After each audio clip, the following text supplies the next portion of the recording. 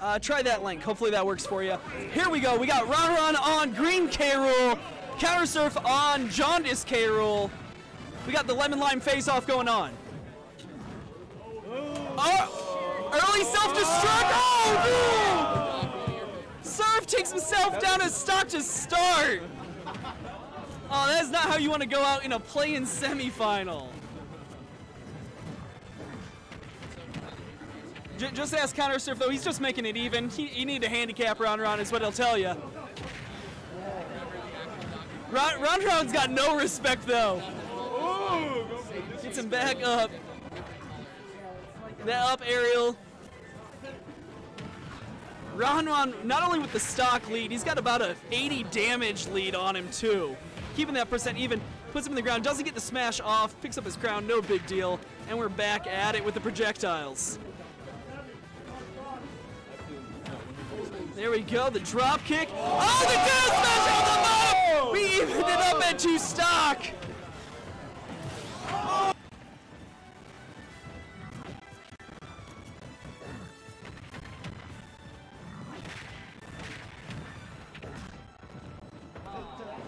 All right, and here we go. We got one stock left for Counter Surf, two for Ron Ron.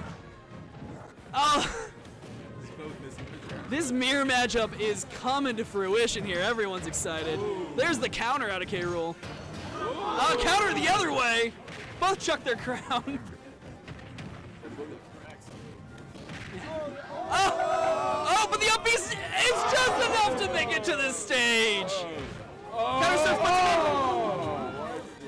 Yep, smash. There you go with the over air. And juggle him out the side. Up B's himself and Ron Ron able to make it back in two. That up tilt. Oh, there's the there's the smash out. One stock apiece, but Counter Surf is carried 110% into this final stock. 121. He's still got a bit of a climb to do. Right now, he's got to be regretting that that self-destruct at the beginning's got to be weighing on counter surf right now. But if he can pull it off, just styling.